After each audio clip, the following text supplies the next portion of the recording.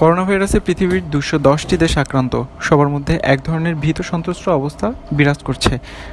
আমার আপনার প্রাণের দেশ বাংলাদেশেও আক্রান্ত হয়েছে মরণঘাতী এই ভাইরাস। দেশে এই ভাইরাস শনাক্ত হওয়ার পর থেকে সরকার সর্বোচ্চ চেষ্টা করছে নিয়ন্ত্রণ করার জন্য।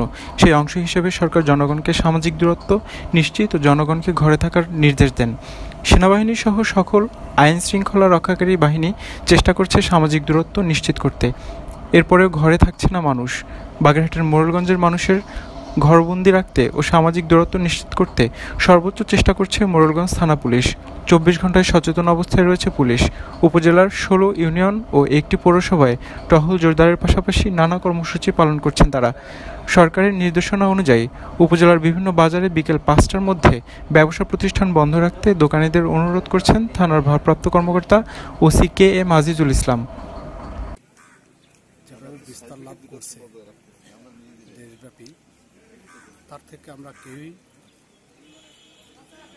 মুক্ত নই।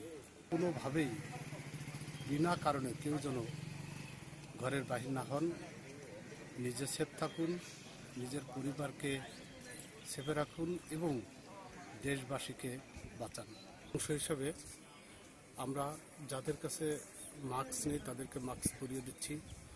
স্যানিটাইজারের ব্যবস্থা করছি এবং আমরা যার যে ধরনের সহযোগিতা প্রয়োজন, আমরা সেই সহযোগিতা দিয়ে যাচ্ছি।